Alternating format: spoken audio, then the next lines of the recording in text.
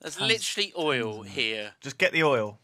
I Get a bucket. I Scoop it up with your fucking hands and just bring it back. Bring me back a few handfuls of oil. I'll put it up my ass and then we'll go into space. I don't fucking know. What are we doing?